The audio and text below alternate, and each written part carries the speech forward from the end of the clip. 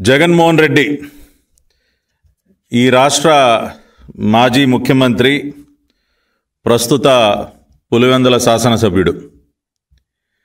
ఈయన గారి విలాసాల కోసం ఆయన ముఖ్యమంత్రిగా ఉన్నటువంటి సమయంలో ఎన్ని వందల వేల కోట్ల రూపాయలు ఖర్చు చేశాడో వాటి యొక్క నిదర్శనాలన్నీ కూడా మనకి ప్రత్యక్షంగా ప్రతిరోజు కనపడుతూనే ఉన్నాయి. అది రిషికొండ ప్యాలెస్ కానివ్వండి తాడేపల్లి ప్యాలెస్ కానివ్వండి రిషికొండ ప్యాలెస్లో ఉన్నటువంటి బాత్ టబ్బులు కానివ్వండి కమోడ్లు కానివ్వండి ఒకటేమిటి? మసాజ్ టేబుల్ల వరకు మన మాము అదే మన మాజీ ముఖ్యమంత్రి మసాజ్ టేబుళ్ళ వరకు మన మాము తగలేశాడు. ఏది? ఆయన జేబులో డబ్బులు కాదు కదండి. ప్రజల సొమ్మే కదా పేదవాడికి దక్కాల్సిన సొమ్మే కదా. ఇష్టానుసారం మింగినంత మింగటం సొంత ఖజానాకి చేర్చుకోవటం మిగిలింది తన విలాసాల కోసం ఖర్చు చేయటం.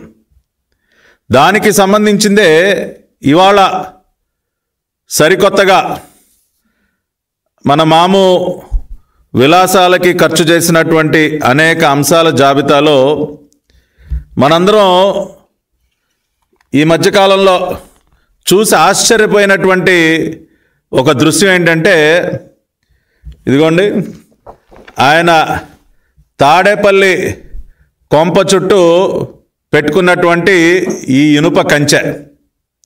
చూసారు కదండి? ఆయన ఇంటి చుట్టూ భారీ ఇనుప కంచె.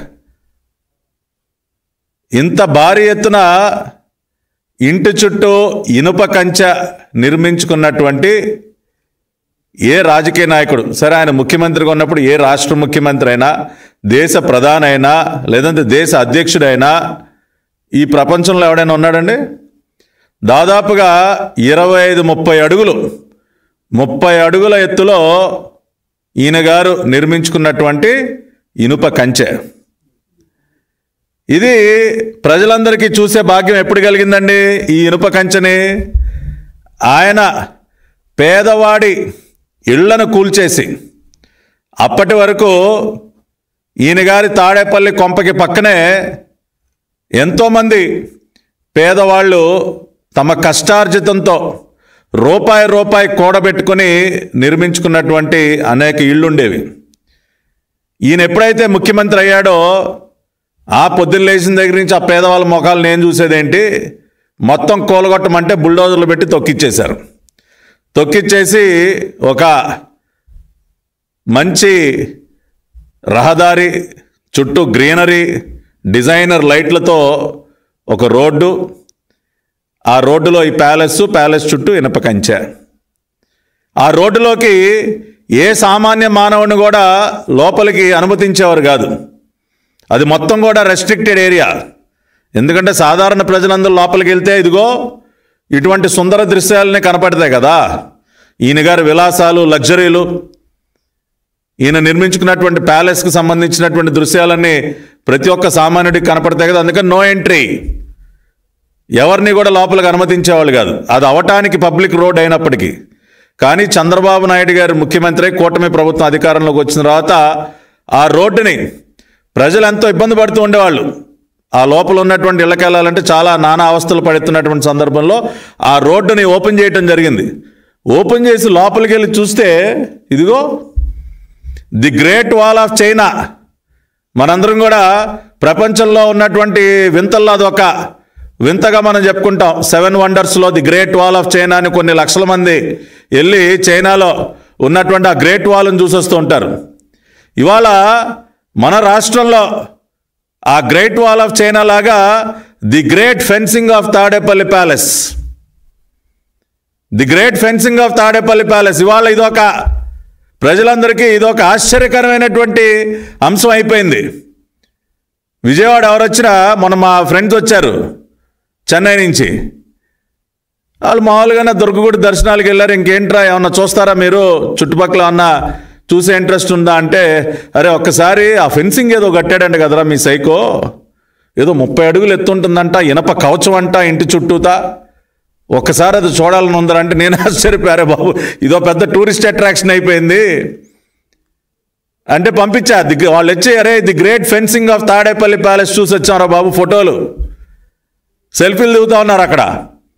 అంటే ఇదొక నిజంగానే నాకు తెలిసి ప్రపంచంలో ఎవడో కూడా ఈ రకంగా ఇంటి చుట్టూ ఇన్ని ఇన్ని అడుగుల ఎత్తులు ఇనప కంచెను కట్టుకుని ఉండరు.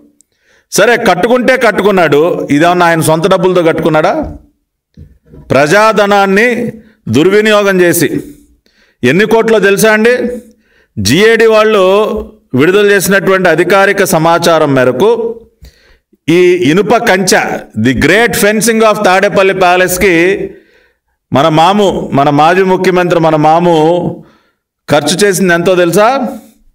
అక్షరాల పన్నెండు కోట్ల ఎనభై ఐదు లక్షల రూపాయలు. పన్నెండు కోట్ల ఎనభై ఐదు లక్షల రూపాయలు తగలేసి ఇదిగో the great fencing of Tadepalli palace కట్టాడు.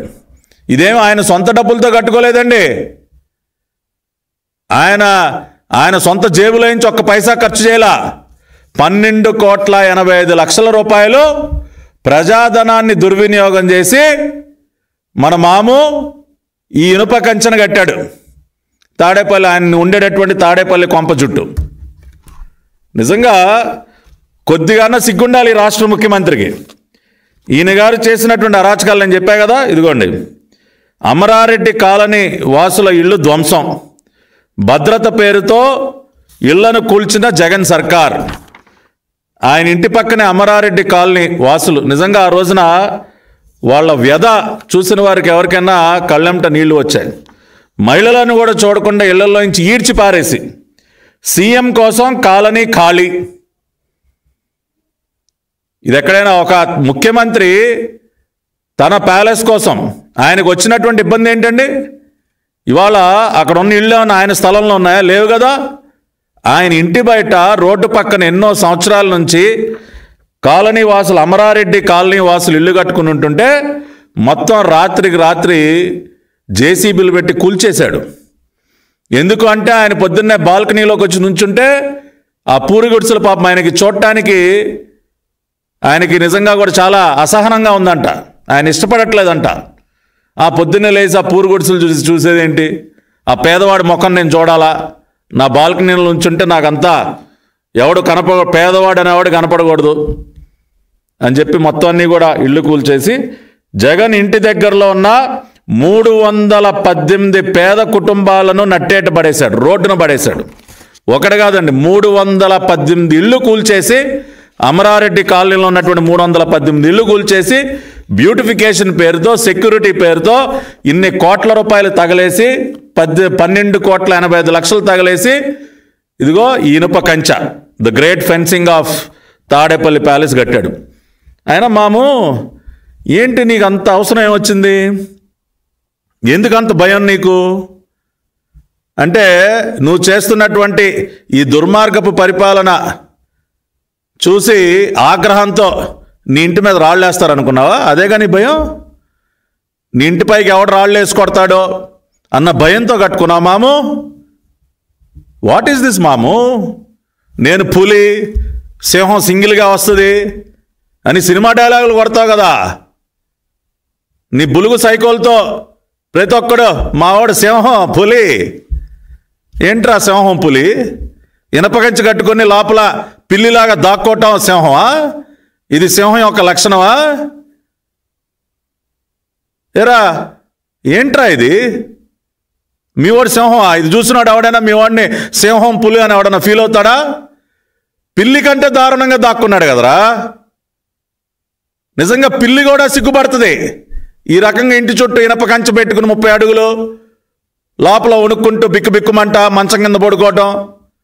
ఇవాళ నిజంగా పిల్లి కూడా సిగ్గుపడుతుందిరా బాబు ఈ దృశ్యాలు చూస్తే. నాకు తెలిసి ఆ సందులో కొండ వెళ్తున్నటువంటి పిల్లి కూడా ఈడవడరా బాబు అనుకుంటుంది. అంత పిరిగితనం ఏంటా మీకు? అంటే మీ ఓడు భయం ఖర్చు ఇవాళ పన్నెండు కోట్ల ఎనభై ఐదు లక్షల? ఈ కంచె? మీ వాడిలో ఉన్నటువంటి పిరికితనం కోసం ఇన్ని- కోట్లు తగలేస్తారా? ఒక్కసారి ప్రజలందరూ ఆలోచించండి. మీరు చాలామంది ఢిల్లీ వెళ్ళారు కదా? ఢిల్లీ వెళ్ళిన ప్రతి ఒక్కరూ రాష్ట్రపతి భవన్ చూస్తారు. మన దేశ రాష్ట్రపతి నివాసం ఉండేటటువంటి భవనం రాష్ట్రపతి భవనం. నేను కూడా వెళ్ళి చూసొచ్చు అందరూ వెళ్ళి చూడొచ్చు దాన్ని. మన రాష్ట్రపతి భవన్ చుట్టూ ఈ రకంగా ఇనపకంచెని చూసావా? అంటే ఈ దేశ అధ్యక్షుడి కంటే ఈయనకి ఏమన్నా సెక్యూరిటీ థ్రెట్స్ ఏమైనా ఉన్నాయా? మన భారతదేశ రాష్ట్రపతి కంటే ఈయన గారు ఏమన్నా వివిఐపియా ఆయన కంటే ఈయనకి ఏమన్నా సెక్యూరిటీ థ్రెట్ ఏమన్నా ఉందా? అరే ఢిల్లీలో ఉన్నటువంటి రాష్ట్రపతి భవనమే శుభ్రంగా ఒక ఐదారు కిలోమీటర్ల దూరం నుంచి కనపడుతూ ఉంటుంది. ప్రజలందరూ ఫోటోలు దిగుతూ ఉంటారు.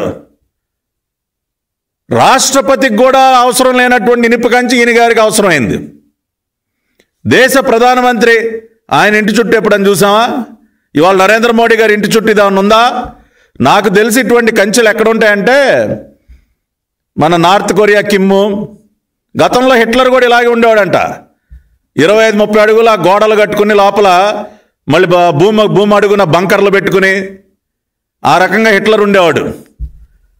లిబియాలో గడాఫీ ప్యాలెస్ చుట్టూ కూడా ఇంత ఇంత ఎత్తు గోడలు ఉండేయంట సద్దాం హుసేన్ ప్యాలెస్ చుట్టూ. లేదంటే ఆ జింబాబ్వేని ఉక్కుపాదంతో పరిపాలించినటువంటి ఆ రాబర్ట్ ముగాబే ఇటువంటి నియంతలు ఎవరైతే ఉంటారో వాళ్ళు మాత్రమే ప్రజలని అణచివేసి ప్రజాగ్రహానికి గురవుతున్నటువంటి వ్యక్తులు నియంతలు ఎవరైతే ఉంటారో వాళ్ళకి మాత్రమే ఇటువంటి ఇనుప కంచెలు అవసరం. ఇవాళ చూడవయా చంద్రబాబు నాయుడు గారి ఇంటికి చూడు.